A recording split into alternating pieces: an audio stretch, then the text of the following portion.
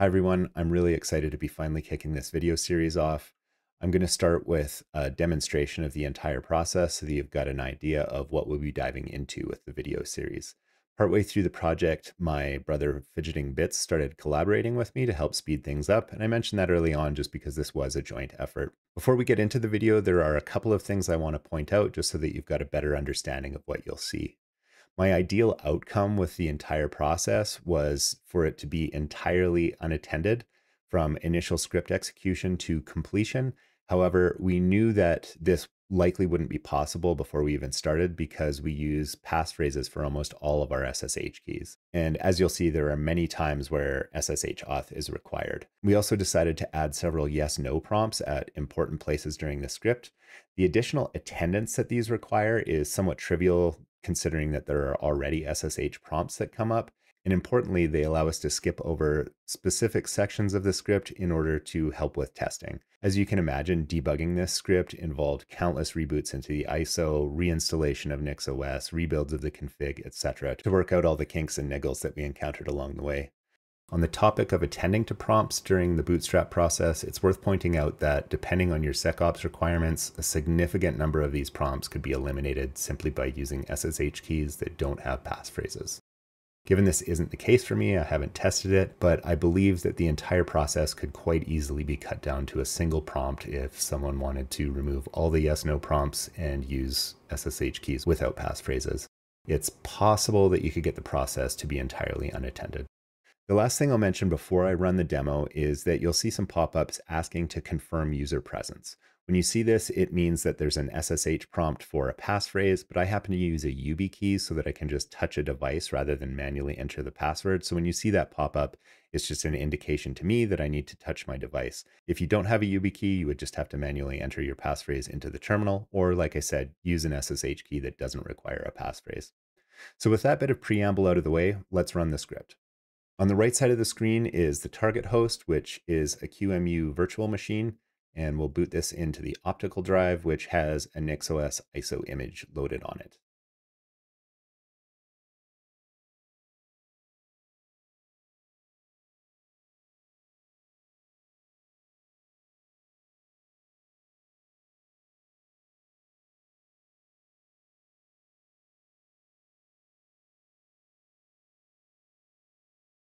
On the left side is a terminal on the source machine, which has a copy of my nixconfig repo and the private nix secrets repo.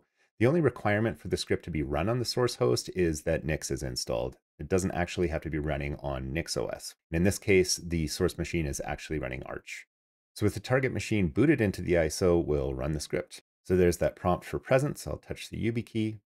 We'll generate the hardware config on the target. And then we'll be remotely installing Nix using a minimal version of our flake. With Nix installed, the target will be rebooted and the script will wait until it comes back up.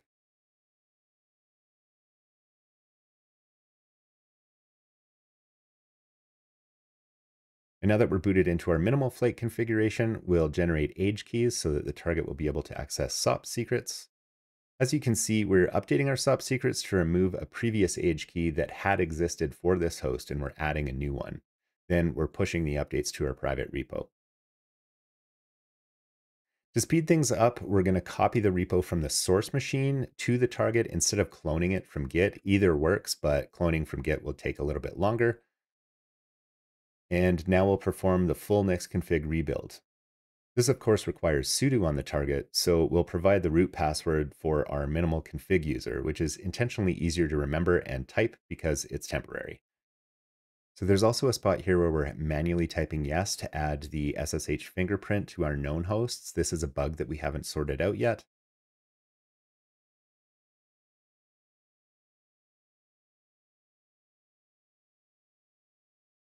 And we'll speed this video up significantly so you don't have to wait for all the downloading and building.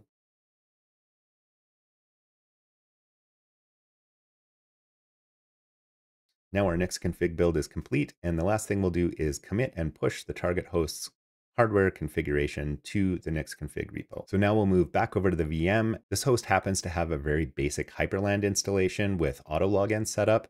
So we'll do a quick reboot and make sure that that works.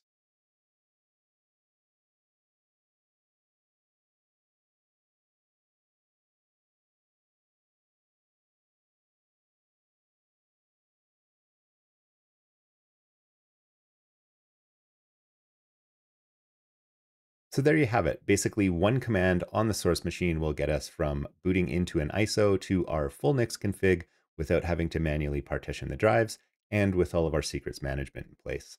So how does all this work?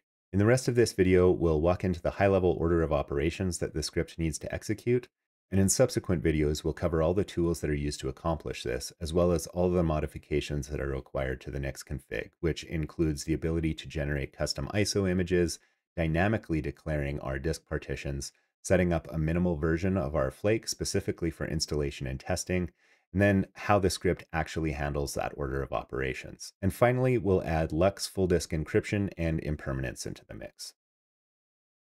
So let's take a look at the high-level steps that this project set out to solve. In a typical manual installation without secrets, we would download an ISO image, boot the host into the ISO, partition our disks, install NixOS, copy our Nix config over, build the config, and update the config with our hardware configuration for that host. This would actually be very trivial to automate with some readily available tools, but alas, having no secrets in the mix isn't really practical. In performing a manual installation with secrets, the initial steps would be the same, but after installing NixOS, we would generate a new host age key for use with SOPs. Then we would update the Nix secrets with that key, push the changes to the repo, and perform the rest of the installation. Adding secrets complicates things significantly. We can't simply build the Nix config because it uses our private Nix secrets as an input. A valid private key needs to be present on the host so it can download Nix secrets from the private repo during build. Not only that, even if Nix Secrets has been successfully downloaded, the new host will require a valid age key for SOPs to decrypt our secrets during the build. To deal with this hurdle, we're left with some choices about what steps should occur on the new host versus on the existing host, the latter of which would already be able to access and update Nix secrets.